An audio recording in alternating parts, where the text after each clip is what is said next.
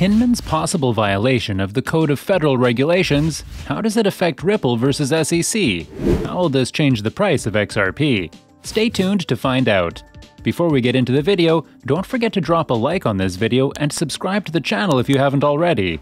Make sure to enable all your notifications to our channel to keep up with all the hottest secrets in the world of XRP. Without further ado, let's dive in. The SEC's dispute with Ripple may not start until the new year, but that doesn't mean the XRP community is taking a rest. Many individuals are still trying to contact members of Congress or thinking about the implications of the current legal battle. However, crypto lawyer John Deaton, who represents thousands of XRP holders, made an unexpected surprise in the midst of it all. The information comes from a speech given in 2018 by William Hinman, the former director of the Division of Corporation Finance, in which he examined whether Bitcoin and Ether were securities transactions. Deaton cited the Code of Federal Regulations, CFR, section 2635.702, which prohibits the use of public office for private gain. He said, I think Bill Hinman could have used some legal advice before signing the sworn declaration filed by at SEC.gov. If his speech reflected only his personal opinion and was not guidance by the SEC, he is in violation of Title V. The above section of the CFR makes it plain that workers of government agencies cannot utilize their positions to gain personal benefits. Aside from the section given by Deaton, another condition was stated Except as otherwise provided in this part, an employee shall not use or permit the use of his government position or title or any authority associated with his public office in a manner that could reasonably be construed to imply that his agency or the government sanctions or endorses his personal activities or those of another. But what does this signify in terms of SEC versus Ripple? And what do these hitchhiker's thumbs signify? Remember that one of the main issues in the lawsuit was whether talks concerning the contents of Hinman's speech might be protected by the Deliberative Process Privilege, or DPP defense? Another consideration was whether Hinman's comments could be used to assess XRP. Deaton is also wondering whether Hinman has the authority to give a speech about Ether's lack of security. Long term investors believe Ripple will benefit from a non-profit watchdog's charges of bias against the SEC, the triumph of Ripple in the SEC lawsuit might spark a bull run in the altcoin. Ripple defies all odds by posting a weekly gain of 13%. Investors in Ripple are optimistic about the altcoin's victory in the Securities and Exchange Commission, or SEC, case against the payments behemoth. The SEC's conflict of interest in labeling XRP security while taking no action against Ethereum, the largest cryptocurrency, has drawn attention. The price of Ripple has increased by 13% in the last week, and analysts expect that the altcoin's upward trend will continue. Analysts are bullish on Ripple, and a good conclusion in the SEC versus Ripple lawsuit could be a bullish trigger. The Ripple price pattern was recently reviewed by cryptocurrency analysts from the YouTube channel CoinsKid. Ripple, according to observers, is reversing the double bottom pattern seen in the last two weeks of July 2021 the price of Ripple has broken through the barrier at 83 cents and is now trading at 89 cents.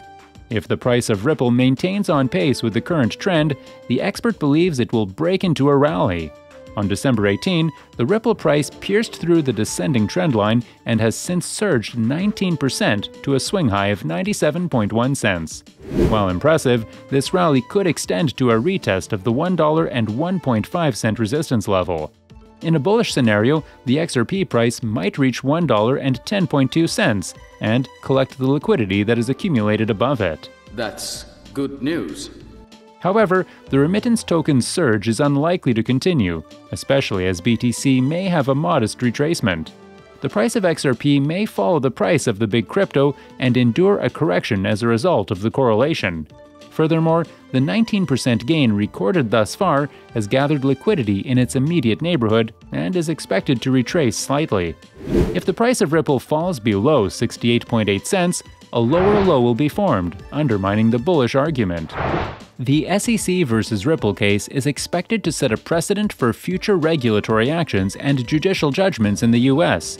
Ripple Labs and individual defendants Chris Larsen and Brad Garlinghouse have attempted to persuade the court presided over by magistrates Sarah Netburn and Analisa Torres, that the SEC failed to prove fair notice under U.S. securities rules.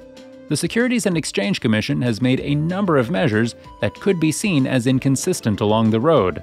Aside from that, the fact that the agency hasn't offered regulatory clarity for market participants may influence a prospective settlement agreement between the parties or the court's decision.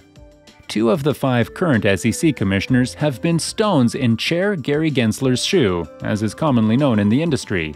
Hester Peirce and Elad Roisman are the two officials in question. Elad Roisman, on the other hand, has recently stated his intention to leave the SEC. Serving the American people as a commissioner and an acting chairman of this agency has been the greatest privilege of my professional life. It has been the utmost honor to work alongside my extraordinary SEC colleagues who care deeply about investors and our markets. As a result of his resignation, SEC Commissioner Hester Peirce would likely be left alone to confront the SEC's animosity toward the digital asset industry, as Ripple phrased it. You'll have to do it alone. SEC Chair Gensler said, While we didn't always agree on policy matters, I've come to rely on his judgment and expertise, and I've enjoyed a positive working relationship with him. Peirce and Roisman issued a joint statement in July 2021 in response to a court judgment in a crypto case, using the occasion to criticize the SEC's regulation by enforcement policy. Peirce advocated a sandbox for the crypto ecosystem in which network developers would be immune from federal securities regulations for three years, during which time they would be able to launch their businesses and develop their networks via token transactions. Under SEC Peirce's suggestion, token transactions would not trigger securities regulation rules if network maturity had been attained at the end of the three-year timeframe. Last month, Ripple accepted the sandbox concept and defended it before Congress and said, the current uncertainty in the US regulatory landscape discourages innovation and could cause a brain drain in the cryptocurrency and blockchain space. In order to incentivize innovation and inform the development of a clear and consistent regulatory framework for cryptocurrencies, we believe innovation sandboxes should be encouraged. Investors believe Ripple will reach an agreement with the SEC, Recent news reports have also been optimistic, with some speculating that a substantial punishment would suffice to satisfy the SEC. There's plenty of room for growth with an all time high of $3.35 and a current price of under $1. It's possible that news of a positive outcome will push XRP to a new high. This would provide Ripple with the wherewithal to pay a substantial fine. What are your thoughts on Ripple? Will they settle? With this, we have come to an end. The content in this video is for educational purposes only and hence should not be considered as financial advice.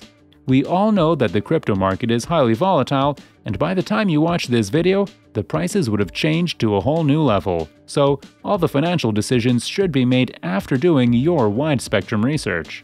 Make sure that you like this video, comment down your thoughts regarding this video, and also do not forget to subscribe to our channel to stay updated about the latest crypto news.